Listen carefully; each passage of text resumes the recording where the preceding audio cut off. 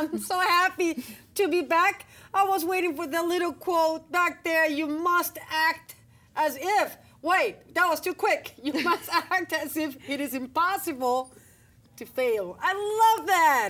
Chandra Thomas is in the house. Oh, okay. Thrilled to be here. Oh boy, you're beautiful. Oh, you're too sweet. No, come on. You look like an actor, activist, performer, writer, director. I mean, Yeah. you. I, I can, can I introduce the sponsors first? Can we do that?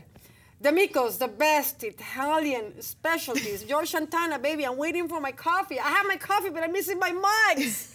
I miss my mugs. Uh, Madonia's Brothers Bakery. I want to say hi to my girls in the bakery. They're nice girls. They're so, so good. Mana, I remember her name now. Uh, Your Health and Caterina Lancova. Okay, so as always, I'm happy to be here. I'm glad that the weather is better. Yeah. right? Hello. Hello. Yeah, I it was a little too cold. Yeah, right. A little too much. So finally, I can just, you know, I'm even wearing a little pink. This is red or pink, but I said I need, I, I just. Summertime is coming, so I have to celebrate, man. Oh man, this is so good. Chandra, your name. Yes. Where's the name, your name coming from? Chandra is um it's actually uh properly pronounced Chandra. It's Chandra. actually Sanskrit. It's an Indian, a name from India. Okay. Um, and it means Chand means moon. So the name essentially means destined to outshine the moon.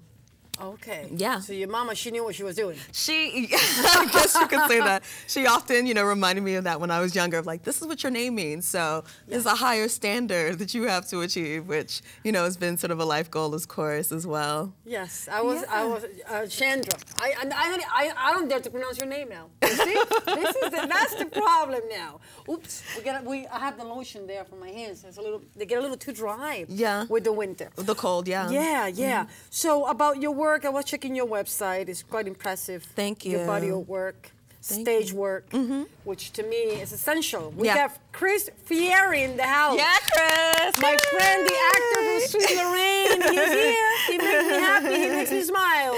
Okay, we're missing Josh Santana, but what the hell? We're gonna wait for the man.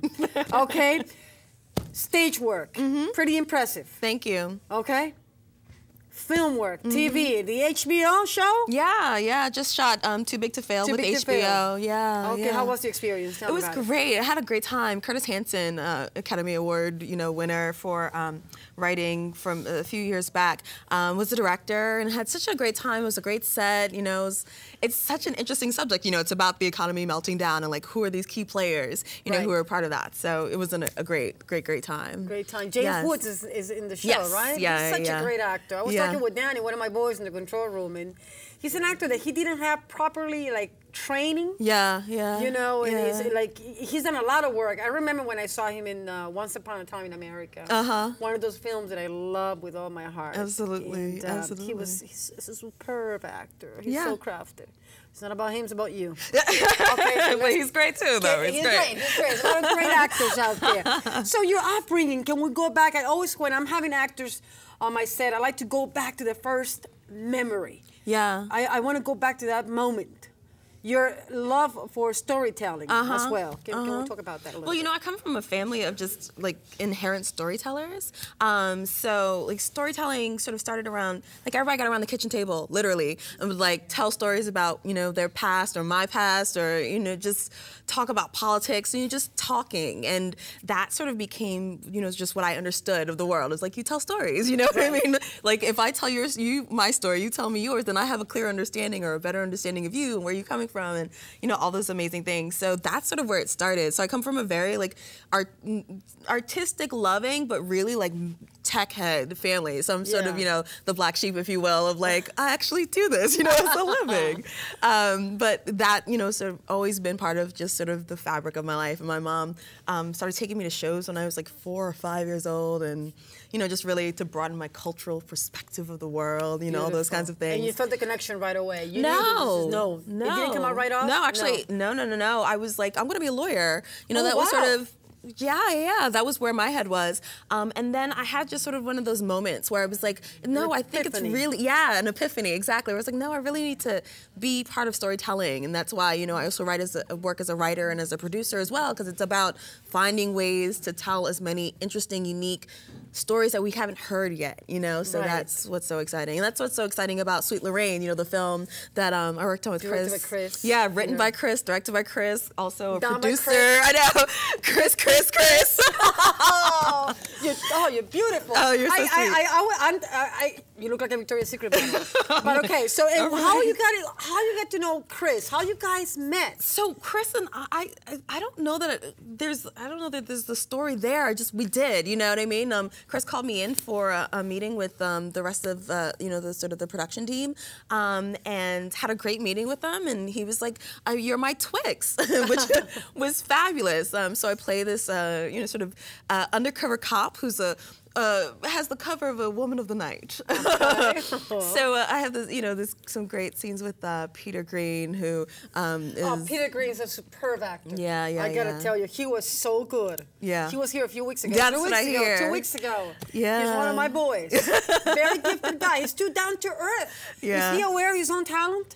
Truly? Honestly? Come on. I know, I know, I know. So for how long you guys worked together with Chris? Like, So, how um, so I was actually there for one day. So, I, Okay. You know, we shot all of our stuff in one day, and um, it was, you know, had a great time on the set. And Chris just, you know, was the the leader of the ship, you know, as Right. as uh, is so needed. So yeah, and you know, it was such a fascinating experience working with with Peter. Um, you know, we we have when you see the film, you'll get to, to a better sense of uh, the kind of stuff we got to do. yeah, and all these great actors, Tatum O'Neal. Yes, Uh, Tatum O'Neal. Steven Bauer. Yeah, it's a powerhouse cast. Yeah, It of is. course, it is. It is. Yeah. So stage work, film work, TV. What do you enjoy the most? I do. I love all of it. I You do really, them all? I really do. I do it all. Um, I really do uh, love doing it all. I mean, being in front of camera, just there's something that's just magical that can happen. Yeah. You know, and that it can just be captured. You know, and and live forever. So there's something so special about that. And then of course is that beautiful experience of like having the immediate response, knowing that okay, in that was funny. Exactly. like that really was funny. They laughed. You know what I mean? yeah. Or uh, you can feel when the the temperature of a room changes because everyone's been so moved or so touched by something. So you know, there's so many benefits to you know all of the work, and I love I love.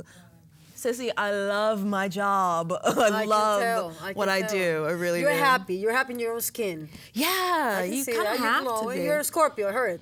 Yes. Backstage. I'm a Scorpio. Okay. Yes, I am. You're a tough am. cookie. I can see that too.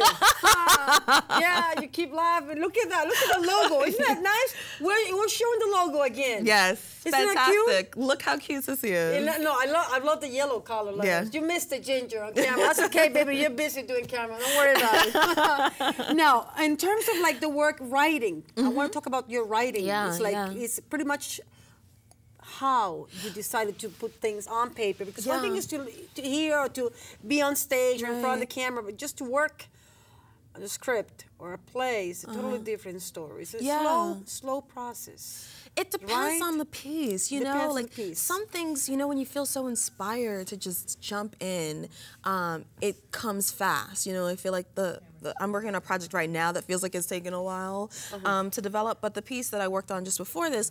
It felt really fast, you know, like because everything was really bubbling, was right there. It was a solo show um, Yeah, that I created. about that. Yeah, solo. You're, you're writing two solo shows or one? I'm writing. I, Two. I've written one, One. I'm writing one right, another one right now. okay. Um, and based on so the the one that I uh, I wrote and, and workshopping and sort of marketing to some people to, to do here in New York um, is called a rhyme for the underground, and I play uh, 18 different characters, That's um, and the whole idea is um, it's all they're all sort of connected through the subway. You know, like what's the biggest you know Oh. connector of all of us, right, in Yes. the city, and um, it's this woman sort of figuring out you know sort of next steps in her life while she's interviewing all these different people and sort of getting you know fi- sort of inadvertently finding out what she needs to get to like you know the next step in her life. So um, you know I get to play like the six year old little boy to the you know the the West Indian housekeeper slash you know caretaker to you know the the Nigerian man who sells you know DVDs on the street. You know Oh, like just the the full spectrum of just you know the beautiful color that is New York, right? New York is loaded. It's, so loaded. loaded. It's so loaded. I can't get enough. Yeah, I know exactly. Right? So that's you know exactly what the show sort of plays homage to, and you know really has this like beautiful poetry that's woven throughout the whole thing, and song and dance, and you know all these things that like I don't necessarily always get to do. You know, so it's sort of fun to like well, I want to do it, so I'm gonna put it in there. You know what I mean? So that's fantastic. And then the piece that I'm writing right now that I'll be doing um, next month is uh, a, a really about father-daughter relationships, which is something that um, I've sort of you know been wanting to write about, but have been sort of like, oh, I don't know where to go with it. And so, Right, that um, kind of scary feeling that Yeah, yeah, yeah. But it's been really exciting, um, and I'm excited about doing that piece next month. Nice. Yeah. And when you're writing, what what time during the day do you like to sit down and write? What's the best time? What's the best hour? When?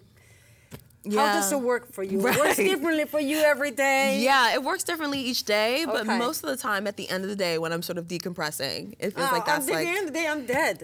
I know, right? Yeah. Well, you you're such a little firecracker. I can understand that. Like you just have so much beautiful Energy. energy, so I can see that. but how we concentrate, that's the key. That's the key. That's the key. What's the biggest obstacle that actors are facing I think in our- nowadays? Because now it's like I tell you, it's like so many things going on. so much. And it's but it's interesting and beautiful to see all these mm-hmm. production companies and everybody's producing their own work, Yeah, which is so crucial. which is so crucial. So crucial, yeah. Mhm. right? I mean, is it better for all of us to work that way? I think it's it the only way. I think it, I think we have to. You know, first of all, the landscape's changed. So Right. if we bemoan what it is or is not now, right? What does that really? Where does that yield, yield us? You know? Right. Um, I think it's so crucial that we create our own work. You know, Right. as as as and we have the platforms, we have distribution, we have you know what I mean. We have the opportunity to like to do it. So Right. The world we has need changed to. The world has changed. Right. In like a blink, it feels like you know. It doesn't scare you a bit, no? I mean, it's always changed. It was different, you know. It was different when whatever we thought was norm five years ago was different ten years before that. You Because know. now when you see, when you really think about it, all the submissions online, Yeah. right? Yeah. Five years ago, you had to use the stamp. I would go to the post office and write that. And now it's so quick that you so just get a submission by email Yeah, in seconds. in a 2nd mm-hmm. So it's different now. It it, it should be easier, but it's not. It's not well, you know, because then I feel like there's also that advent of people. Everyone feels like they could do it. You know. Oh what I yeah, mean? thank you, Chandra. You brought that up to the table. Mm-hmm. There's something inside of all of us, to some degree, Mm-hmm. in people's minds. People's mind that they think that acting is something that everybody can do. Just like walk out their house and do it. Just like what you, Mm-hmm. I see it because you know it's very interesting to me when I see I don't know beautiful models or uh, singers or I don't know like people who were not actors, Right. which I don't care as long as if you have the gift, if you have the skill, and take the time to to develop a craft. Right. Yeah. But acting is a craft, like you said, and it takes time. Yeah. And it's work and work and work. Yeah. And we are competing with with everybody. I mean, everybody wants to jump in the pool. That's right. Right? I mean, who doesn't want to be a movie star?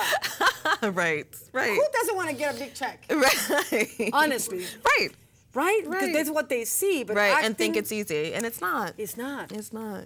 Bless it. It's not. Though, this is yeah. what we do. And you're an activist. Yes. Can we talk about that? Yeah, youth arts is really where my heart lies. Um, I co-founded a nonprofit organization to work with teen girls Okay. um, called Vibe Theater Experience, and our whole mission is to empower teen girls through the collaborative arts. So our girls work together to create their own writing and perform it. And so it's really about reinforcing their voice of you know growing up in New York as a teenage girl. Like, mm, there's so many things that I could do, you know, that are off the path, you know.